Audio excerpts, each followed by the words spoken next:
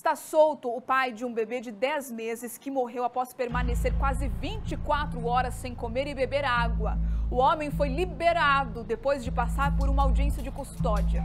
Ele deve ser indiciado por homicídio doloso quando se assume o risco de matar, mas vai responder pelo crime em liberdade.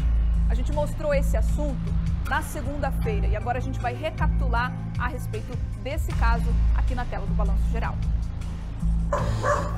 Esse endereço se tornou conhecido por uma tragédia que tirou a vida de uma criança de apenas 10 meses de idade. E o motivo é o que mais choca.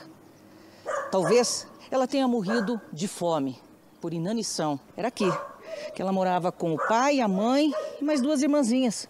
Uma de dois e outra de cinco anos de idade. As duas estão sob tutela do Conselho da capital paranaense. Passaram por exames porque elas tinham hematomas pelo corpo que podem indicar violência sofrida por parte do pai, já que uma delas disse que um ferimento na cabeça tinha sido provocado pelo pai, o mesmo, que teria sido negligente e deixado a criança morrer de fome. Isso é o que a polícia apura e a gente vê aqui na vizinhança para saber um pouco mais dessa família que recém chegou do Maranhão, de outro estado, Faz pouco mais de um mês que eles moravam aqui. Aliás, foi para a vizinhança que o pai pediu ajuda quando percebeu que a bebê de apenas 10 meses estava sem respirar. Ele chegou desesperado, subiu a minha escada e ela já estava roxa. O pai era o responsável por tomar conta das crianças enquanto a esposa saía para o trabalho. Mas, segundo a polícia, ele não cuidou. A bebezinha, que teria se alimentado pela última vez na quinta-feira, pode ter morrido de fome. A pergunta que você faz é o seguinte: se fizéssemos isso com o pai, né, disséssemos, olha, agora você vai deitar de bruxo, vai ficar 23 horas deitado, cheio de cobertor, sem água e sem comida. O que, que ele ia conseguir? O que queria dizer para nós, né?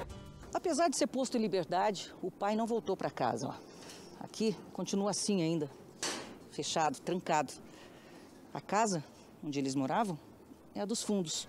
Também está toda fechada. Não há sinal de que alguém esteja neste lugar. Nem o pai, nem a mãe, que muito provavelmente deve ter ido para um outro lugar, enquanto aguarda a decisão da Justiça e do Conselho Tutelar sobre qual o destino das outras duas crianças que faziam parte dessa família. As duas meninas foram encaminhadas ao hospital para exames e para suporte psicológico. Identificaram as crianças, acolheram essas crianças, né? elas foram conduzidas para o hospital, onde se encontram até o momento. O que resta esperar agora é que a justiça seja feita em defesa dessa pequena, frágil e indefesa vida que se perdeu tão precoce e irresponsavelmente